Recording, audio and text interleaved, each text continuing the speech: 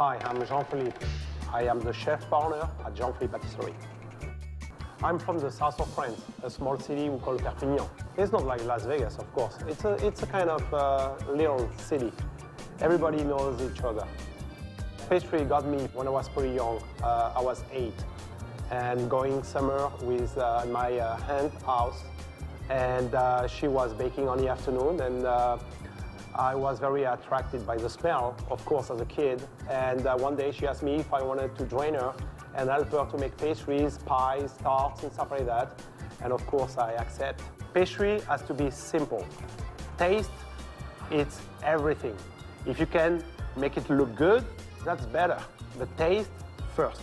Working with chocolate is my passion. The chocolate fountain is running two tons of chocolate, dark milk and white chocolate. It's the world's tallest and largest chocolate fountain in the world. And I think it's really an icon at Bellagio and also for Jean-Philippe Patisserie. I love to work with chocolate.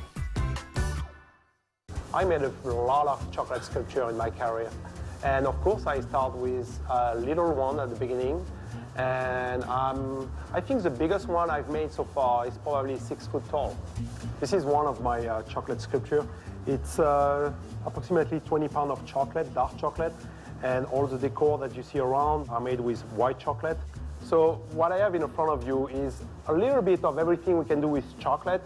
Uh, we have some chocolate flowers, we have some chocolate uh, leaves, and we have some chocolate balls.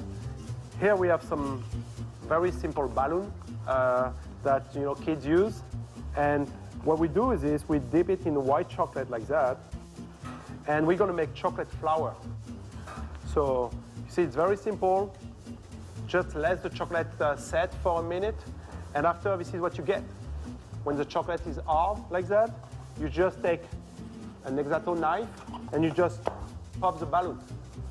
And you remove the balloon you get the petal. And after, with, this, with those flowers, those petals, we put them together with chocolate, and we, you get something like that, like those flowers. I call chocolate comfort zone. You know, chocolate is great for your health, and I heard it's very good for heart and also for the soul. Chocolate is about sharing. For me, the best reward is to see the people face when they walk to Jean-Philippe Patisserie and they enjoy the chocolate and the pastry. Thing when they take a bite and you can see the eyes because eyes doesn't lie. My goal is to do what I like and the passion that I have for chocolate and pastries and be able to share with the guests of Bellagio.